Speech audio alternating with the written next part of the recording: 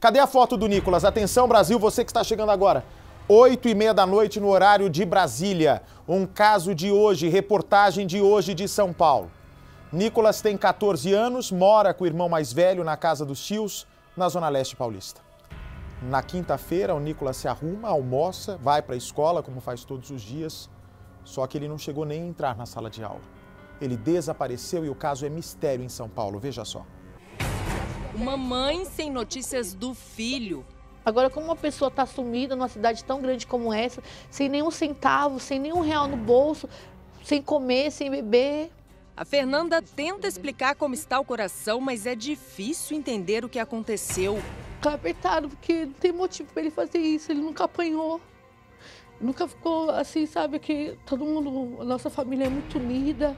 Todo mundo é tratado aqui com carinho, o irmão dele convive com ele desde pequeno. Entendeu? A gente não sabe o que fazer, todo mundo desesperado. Nicolas Henrique Martins de Oliveira, de 14 anos, desapareceu na quinta-feira por volta de uma hora da tarde no Itaim Paulista, zona leste de São Paulo. Ele se despediu da família, dizendo apenas que iria para a escola.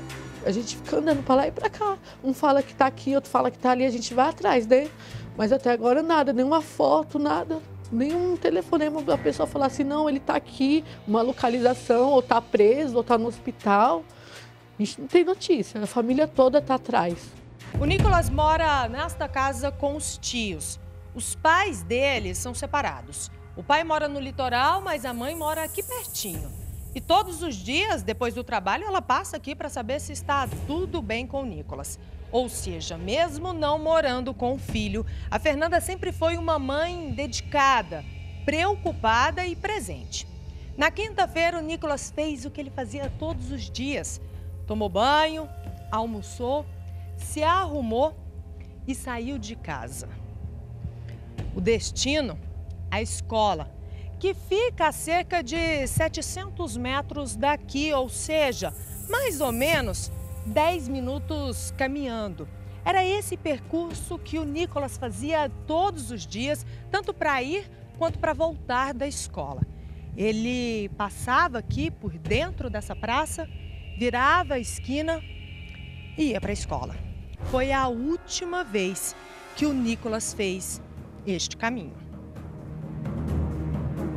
demos falta dele, né? Porque ele saiu daqui falando que ia para a escola, uma hora da tarde. Pegou a mochila dele, saiu normal, tomou banho, se alimentou. Mas Nicolas não chegou a entrar em sala de aula. Antes mesmo de chegar na escola, ele sumiu. Quando a família percebeu que havia algo estranho, já era por volta de 7 horas da noite. A primeira pessoa a sentir falta do Nicolas foi a tia dele, a Márcia. Isso porque ela já estava acostumada, todos os dias, neste mesmo horário, a esperar o sobrinho, né, Márcia? Como que era esse momento de você? O Nicolas, ele sempre chega gritando, tia, tia. E ele tem a chave do portão, ele já abre o portão, já vai entrando. Tia, estou com muita fome, tia. Eu já vou, Nicolas. Aí é assim a nossa rotina. Vou pro fogão, arruma a jantinha dele, ele sobe, aqui em cima, toma um banho dele e pega o roupão que ele mais, essa é a roupa que ele mais ama, esse roupão, né? Ele pega o roupão dele, toma banho, já se troca e vem e vem aqui para a sala. E come a janta. Come, come a janta. Mas na quinta-feira, Nicolas não chegou em casa como de costume. Foi então que as buscas começaram. Já são três dias sem respostas. Não tivemos contatos desde a quinta-feira até agora. Não sabemos nada. Já fizemos um boletim de ocorrência, procuramos a polícia, é, colocamos em redes sociais e tudo. Ninguém sabe, ninguém viu.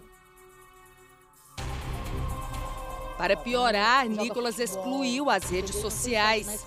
O irmão mais velho, que é analista de tecnologia, procurou de todas as formas e até tentou rastrear o celular do adolescente. Tentei diversas maneiras, tanto com alguns procedimentos de, de TI, mas também não, não consegui sucesso. Tentei com alguns amigos também, que é próximos a ele e também eu tenho contato, sei quem são os amigos, mas também não conseguem contato com ele. Alexander não acredita que o irmão fugiria de casa.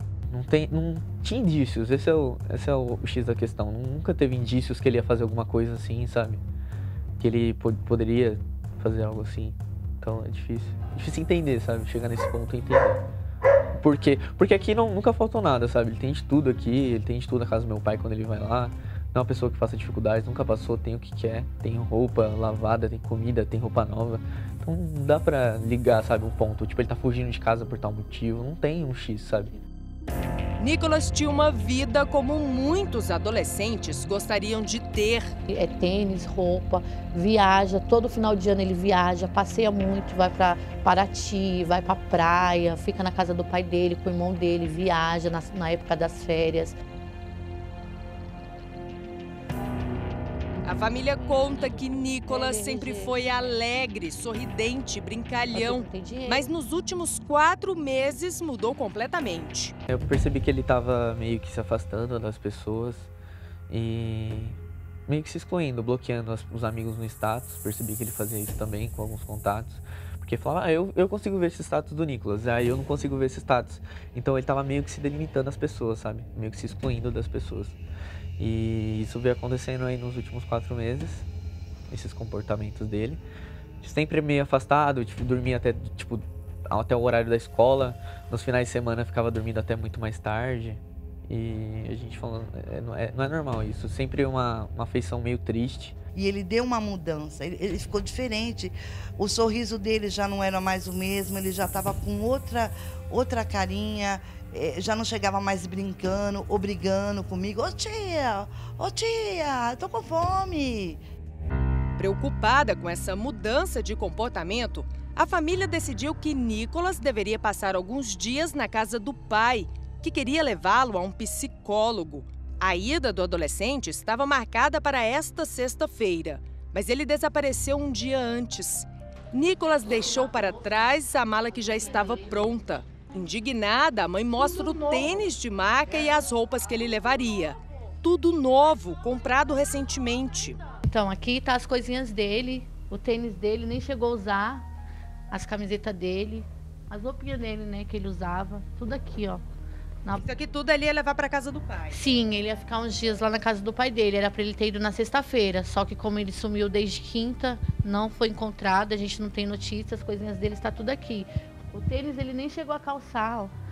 Ou seja, ele tinha o Nicolas tudo novo, olha, tudo, tudo do bom e do melhor, do né? Do melhor, tudo que a gente podia fazer, a gente comprava, a gente dava, eu, minha tia, a gente sempre estava dando as coisinhas para ele.